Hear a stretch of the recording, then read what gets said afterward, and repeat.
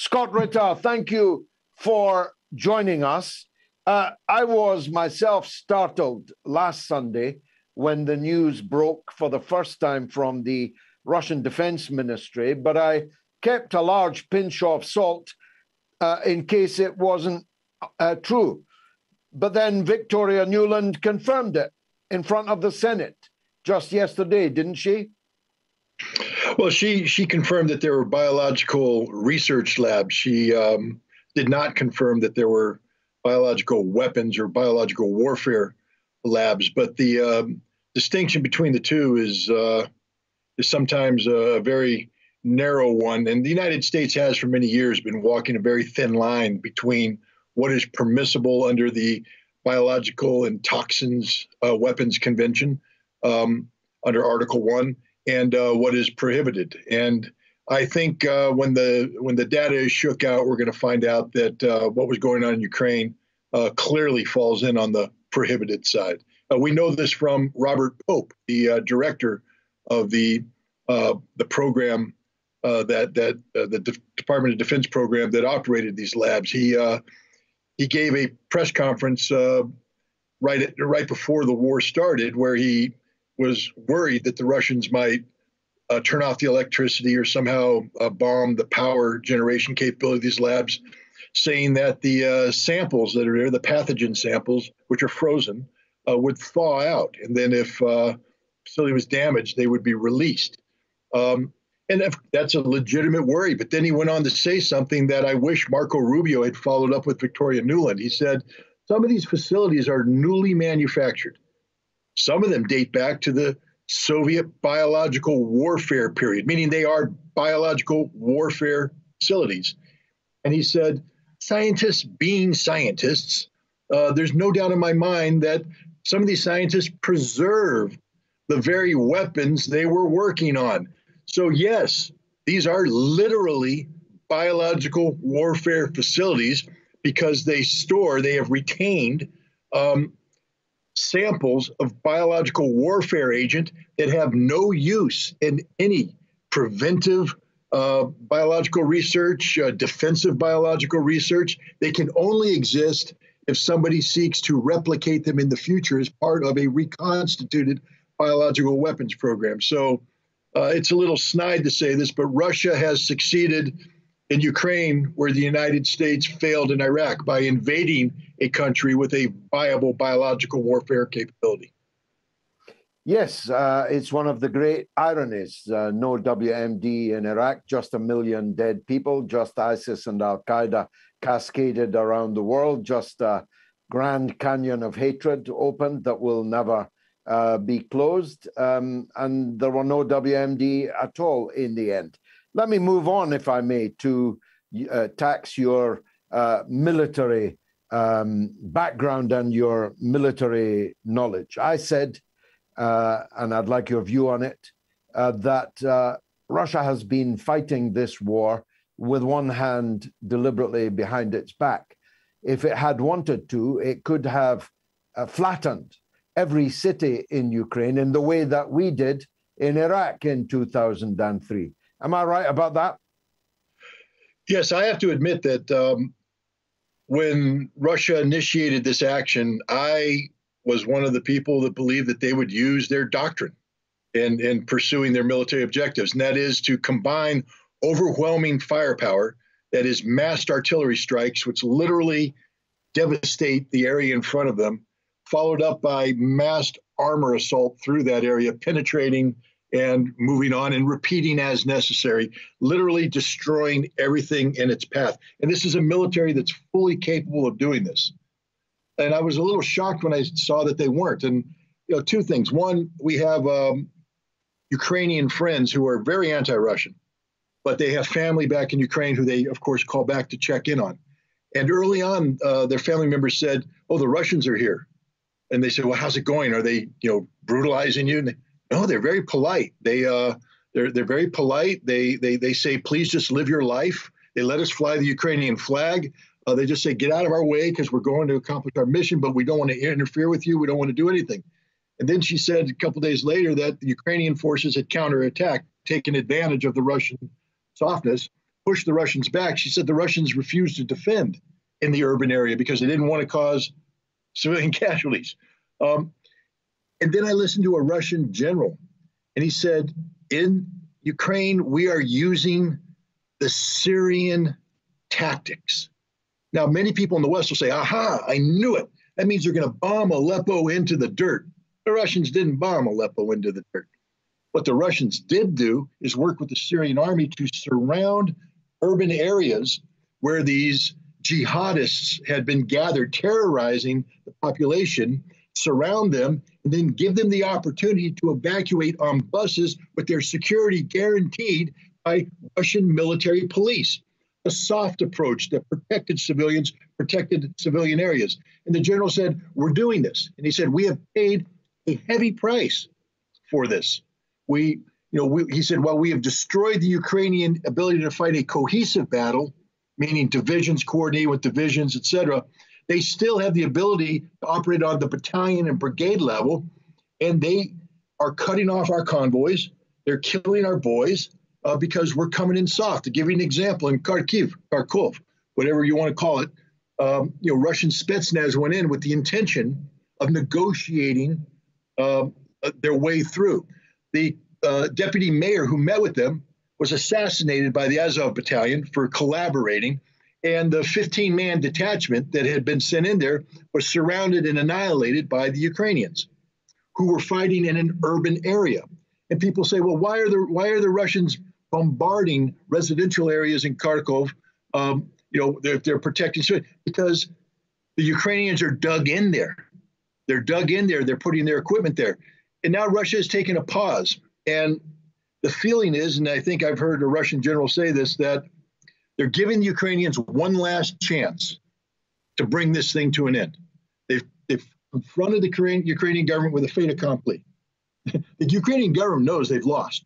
Anybody, anybody who isn't paying attention to the propaganda knows Ukraine has lost this fight. Now it's just down to the bitter, bloody end. It's like when the Russians crossed the Vistula and came up to Berlin. The Germans had lost but they still fought a bloody battle for Berlin that cost both sides a lot of lives. So there's still a lot of fight left in Ukrainians, but it's fighting in support of a lost cause.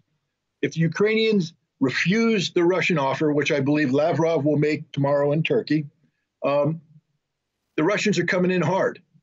Not, not they're going to try and target civilians, but it's gloves off when it comes to the Ukrainian military. They will, because up until now, the Russians have treated the Ukrainian military as their Slavic brothers meaning we understand you're resisting us, we understand you're defending your country, um, but we don't want to slaughter you like we could. Well, that's over. And I think what we're going to see in the days to come, if Ukraine doesn't capitulate according to Russian terms, is a completely different battle where it will literally be hell on earth for the Ukrainian people and for the Ukrainian military. And as somebody who has studied the Russian way of war, I don't wish that on my worst enemy unless, of course, they're neo Nazis or jihadists. Um, how likely is it that uh, in Turkey agreement will be reached in your view, Scott? You know, that it's 50 50 in my point because I've, I've listened to Zelensky speak and he's all over the map. I mean, he's literally a bipolar individual. But on occasion, he's, he will say things such as, um, Why would I ever want to be a member of NATO? They've betrayed me. Why would anybody want to be a member of a member of NATO? They've betrayed me. So maybe uh, I would accept neutrality if I could get, you know, written guarantees for my security, which of course Russia will give them. So we know Zelensky uh, is going could is capable of at least talking about accepting that term. About Donbass, the Lugansk and, and Donetsk, he said, "Why do it's just a, a poor coal mine? Why do I want that? Give it to them, give it to them. So he seems to have accepted the, um, the, the, the notion that those are independent entities now that'll never again be part of Ukraine. On Crimea, he said, "I'm open to discussing something that respects the will of the people, like a referendum that he participates in. And if that's the case, they'll vote to be independent. He'll accept that. So it appears that there is the potential of this, but that's whenever Zelensky gets away from his handlers then Zelensky is brought back in. And people need to understand this. He is being managed by a CIA MI6 conglomerate. And you and I have talked about in the past what MI6 did with Iraq, Operation Mass Appeal, that information operation uh, where they planted information, psychological warfare to try to create a perception in the British public conducive to supporting a war in Iraq. Well, the CIA does the same thing, and they're doing it right now. Where do you think the uh, the 13 brave defenders of uh, Snake Island came from? CIA wrote that. Where do you think the ghost of Kiev came from? The CIA wrote that. We know the New York Times, or I forget who reported, maybe uh, Associated Press or somebody, was honest about the uh, the the I don't need a ride, I need ammunition line that Zelensky is now famous for. Nobody ever quoted him. They quoted an unnamed U.S. intelligence official who quoted Zelensky. I mean, that was the most honest anybody's been. And then this ridiculous speech he gave to the British Parliament, uh, you know, bringing up Churchill, bringing up Henry V. Uh, you think Zelensky wrote that? No, that was written by his CIA MI6 handlers. And the sad thing is, the British Parliament allowed themselves to be debased in that fashion. Here is the one of the oldest institutions of democracy in the world, and it allowed itself to be used by its own intelligence service to spread propaganda, to propagate a lie. Shame on the British Parliament, and shame on the British people for allowing this to happen just like I say, shame on the American people and the American Congress. But I mean, at least we haven't been used. Well, we did, I guess. Uh, Zelensky spoke to the U.S. Senate the same way. So yes, we're both guilty of having our various democratic institutions um, be humiliated by being nothing more than a pawn for their respective intelligence services. In America, this is yes, uh, a clack, uh, uh, uh, clapping like seals. The last time I saw a standing ovation in the British Parliament, I was there and the only one not standing was on the day that Tony Blair left office as prime minister. He put his pen down on the dispatch box, made to walk out for the last time, and the entire assembly stood and clapped like seals. Um, they're not clapping now about uh, Tony Blair and the Iraq war, and the Iraqi people certainly are not. Uh, a couple of other things because of your expertise, if I may. Uh, the uh, presence now in Ukraine this day of Islamist fanatic, throat cutting, head chopping uh, Islamist fanatics brought from Idlib through Turkey. Uh, why would they do that? And what are the dangers of them having done so? Well, first of all, you you can judge. Uh, let me give you an example by answering this way. There's been a lot of propaganda that Russia has uh, brought in mercenaries, uh, the Wagner Group, and that Russia was going to bring in Syrian fighters. I can tell you with absolute certainty that the Russian military, which is one of the most professional militaries in the earth, it doesn't mean they're infallible, it doesn't mean they can't make mistakes, but they're professional. Their officer classes are, are some of the finest trained military professionals in the world. They would never allow mercenaries to fight alongside their soldiers. They would never allow in in in, in a Russian operation in Europe to allow uh, Syrians to to join them. Why? It will diminish their combat capability. Uh, they train to fight with each other. As soon as you bring in the Syrians, uh, the Syrians can't do what the Russians do. There's a decrease in combat effectiveness, and people die. So Russia would never do this because they're military professionals. What has Ukraine done recently? A, they've given out 25,000 weapons to civilians, um, which is stupid. Uh, if, if you've ever seen the movie Downfall about the Battle of uh, Berlin, there's a scene yes. in there where General uh, responsible for the professional German defense of the city, is watching the Volkssturm and the and the and the, and the Hitler Youth run through the street and get slaughtered. And he's basically saying, why are they here? They can't fight. They don't know what they're doing. They don't know any concept of fire, cover, concealment, etc. And he went and begged to take them off the field of battle. Himmler, of course, said no. But Zelensky has given weapons to civilians who will literally be slaughtered if it comes time to fight. He has freed prisoners from prison to fight. He has opened the door for illegal warriors, the, the, the, mercenaries from Europe, who, if are captured by Russia, will more than likely be given a cursory trial, put up against the wall, and shot because They have no rights or protections. They're the worst kind of scum, the exploiters of conflict. And now, what does Zelensky's government do? They brought in the jihadists. They brought in the people because they ostensibly want to kill Russians. It's a pure propaganda move, but it's a poison pill. Not for Ukraine, because Ukraine's going to be destroyed. I, I doubt Zelensky's going to be able to come up with a peace agreement. And Russia has said if he fails to do so, it will be the end of the Ukrainian nation as we know it today. It, it will be destroyed. Um, but now we're going to have these jihadists who are being armed, by the way, with Javelin missiles and Stinger missiles. Now imagine what happens when a bunch of bloodthirsty jihadists take this, these weapons into Europe. Would you like to be the, the, the, the, German chancellor driving on a highway knowing that up in the hills could be a jihadist hit team armed with javelins that will take you out? Would you like to be the president of the United States visiting Germany knowing that up in the hills there? Would you like to be trying to land Air Force One uh, on, on in, a, in, a, in an airport in Europe knowing that there's Stinger missiles down there ready to shoot you down? This is literally the worst kind of decision making ever. A, to put that much weaponry into Ukraine in an uncontrolled fashion. Because even before the jihadists came in, you're giving it to neo Nazis who can't surrender. They can't surrender because they'll be killed, rightfully so. So, what do desperate people do when they can't surrender and they don't die? They run away with the weaponry they have. They'll be burying it, making caches, falling back on it, continuing a futile resistance. And in their anger to the West, they'll lash out at the West and become, you know, global terrorists. That's how global terrorism is born. This is literally the worst possible decision one can make, and it will have heavy consequences for years to come. Lastly, and you've touched on it uh, several times, uh, all the big uh, media organizations over the last eight years, the New York Times, CNN, BBC, uh, all, all the big outfits have reported on Ukraine's neo Nazi problem.